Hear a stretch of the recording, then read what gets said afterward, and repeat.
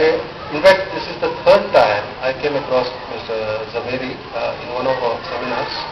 Uh, first two were after a disaster.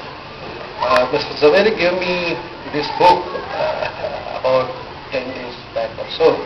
Um, then incidentally, when I, I, took great interest in reading it because uh, uh, I like Mr. Zaveri's speeches. so incidentally, I could locate some of the old information that I had gathered way back in 2004. I started comparing it. The matter was so hard, so difficult to understand. You are uh, put off in the first page itself. So I, I, I didn't feel sorry for that, that I didn't go with those people. But I think in 2006, I came across uh, Mr. Zaveri in one of the seminars. I was so impressed by his uh, down-to-earth examples and uh, very clear concept about the subject.